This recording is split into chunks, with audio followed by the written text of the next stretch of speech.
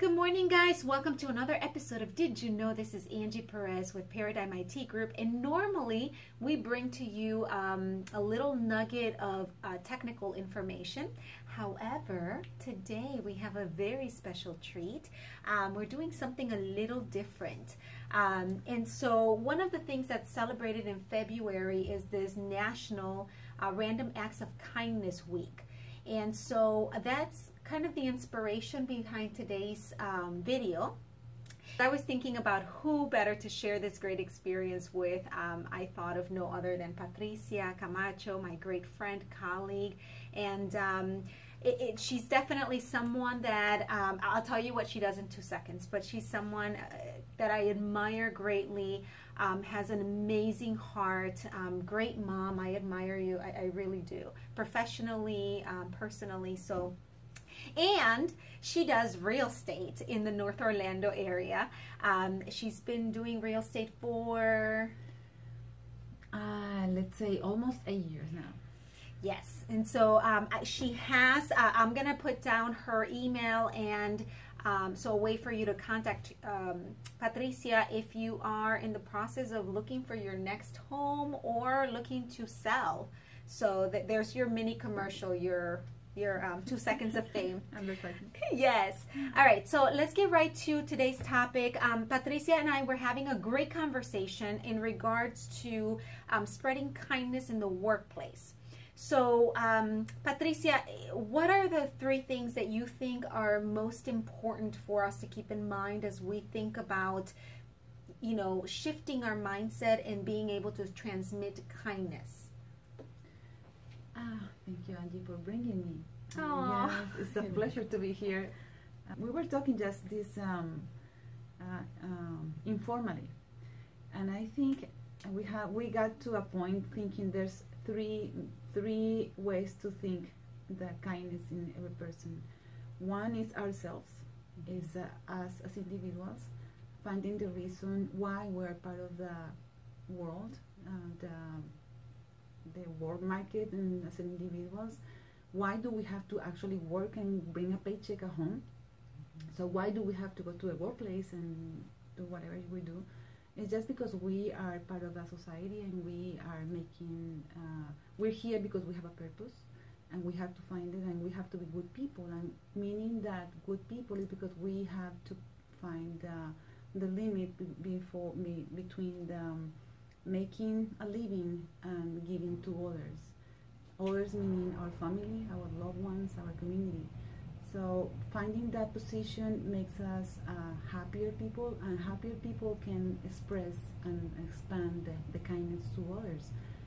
So that being said, I, I, guess we are the basic as individuals of being kind to others, just because mm -hmm. we are. And then I want to say uh, also, when you belong to a workplace, uh, as an employee or as an employer, you have certain culture in the company, and then you have your peers, and you have your people that you're working around. So in the culture, I'm gonna say uh, the culture is coming from out there, the you know the management, leadership, the mm-hmm. leadership, bringing certain type of uh, recognition to the employees and the people that is working, and actually creating better environments to make the people to stay and to actually perform better. So you they have you can have many things, just a call from the manager, uh, a note, uh, just some prices or things like that. But also you have your peers, and I, I think your peers are very important because they are the ones looking at you every single day, everything you do. And then they can give you compliments and they can give you just a word or just a tap in your shoulder, everything is gonna be okay or just uh, being there. You know, sometimes many things that they can do for you uh, can promote kindness and better positive environments. Yeah. And we were talking about gratitude also. Yeah, yeah, of course. I mean, being grateful for the opportunity to be working and being grateful because you belong to a certain community gets you in the mood of positivism. Being grateful for something is kind of preventing you from being negative. Those kind of a currents in your brain don't don't get you know they don't work. Right. If you're gra- you're, you're thankful for something, you can be mad at that.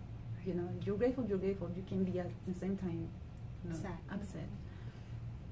So that's I think those are the the, the, the key things, the key, the key elements. Yeah, and also I, I, would I would say something else uh, when you're recognizing someone and you're being kind with someone, those things have to be in a timely manner, and they they have to happen at the moment. Mm-hmm. You have to be now, like purposeful you know. and yes, yeah. Yeah, and for a good reason, mm-hmm. not because just because you, you you can say every single morning to your peer, you're looking pretty today, and again, you're looking pretty today, and then at the end doesn't mean anything. Right. You know, you have to actually do things with a purpose and on time. You can wait until a year later. Hey, I remember you were doing this, and I was nice from you. No, it has to be in the moment. Right. Yeah. Yeah. Otherwise, it loses its meaning. Yeah.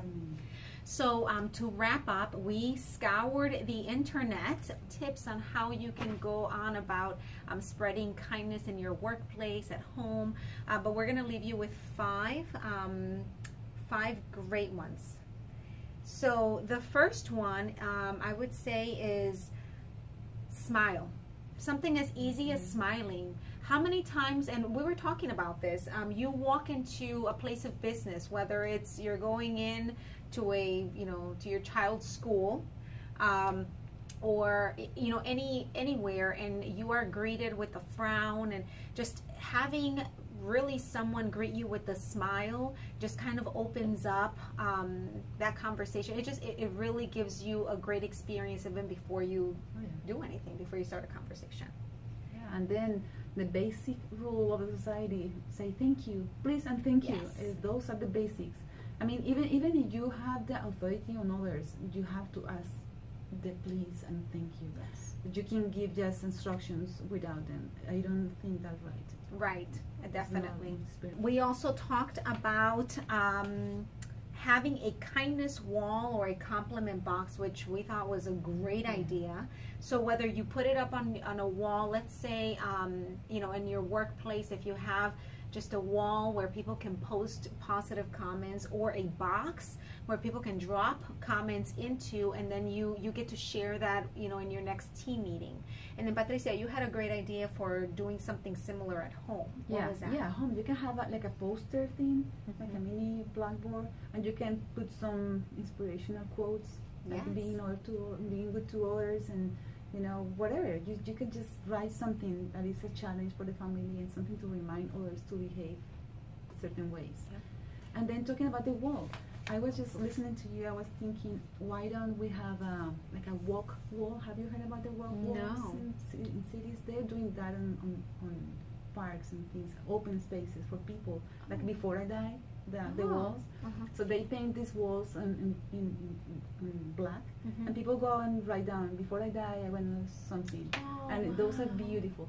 But you can have them at work, and then just bring quotes. Just write the quote, and you have you can oh, erase them anytime, right. but you can keep them for as long as you want to. Huh. something that I, was I'm listening that. to you. I was, mm, yeah, that's a great idea. So anywhere where it's a visual, I'm a very visual person, so that's definitely very helpful for me. And um, last but not least, we talked about random acts of kindness. And I know we touched a little bit upon it, but as Patricia mentioned, it has to be intentional in the moment and it, it, it has to be genuine. Um, so, you know, whether you're doing, um, you know, expressing kindness to your coworker or doing a random act of kindness to your coworker or to your, you know, boss, to your supervisor, at home, to your spouse, to your children, um, make sure that it's intentional. And sometimes we, we really kind of rack our brain trying to figure out what, you know, okay, I smiled. Well, that's great, but there's other ways to um, perform random random acts of kindness and things as simple as leaving a note for your spouse or your you know your coworker saying you know or great job or picking up the phone or sending a text message you know we're very um, digital people these days.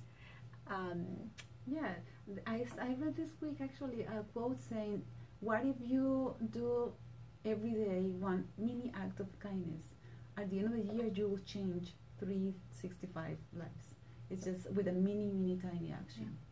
And I guess that's the biggest purpose of this video is just a, a reminder. I think the, the holiday itself, um, you know it's it stays in February and we can celebrate it every year or we can choose to make it a part of our daily lives and remember that one um, going the extra mile and it's sometimes not even an extra mile. If you choose to smile if you choose to open the door for someone if you choose to do something that small you can brighten someone's day at a level that you you just can't begin to comprehend.